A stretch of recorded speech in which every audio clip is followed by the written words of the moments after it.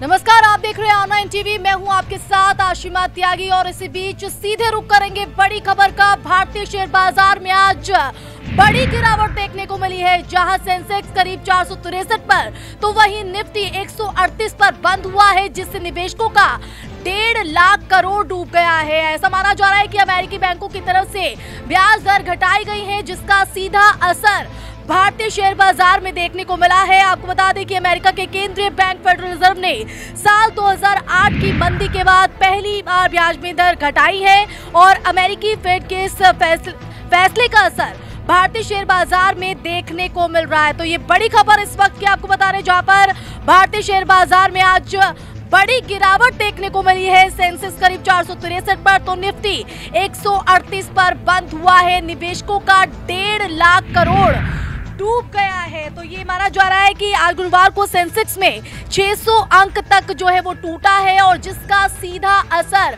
भारतीय शेयर बाजारों में देखने को मिला है। तो ये कहा जा रहा है कि अमेरिका के केंद्रीय बैंक, फेडरल रिज़र्व ने पहली बार जिस तरह से ब्याज में दर घटाई है, उसका सीधा असर भारतीय शेयर बाज़ार में देखने को मिला है। सेंसेक्स का भी चार पर तो निफ्टी 138 पर बंद हुआ है और निवेशकों को काफ़ी नुकसान जो है वो यहाँ पर उठाना पड़ा है। निवेशकों का करीब डेढ़ लाख करोड़ डूब गया है। तो पल पल की अपडेट आपको हम आर नाइन टीवी पर देते रहेंगे। बाकी खबरों से भी आप जुड़े रहने के लिए देखते रहिए आर नाइन टीवी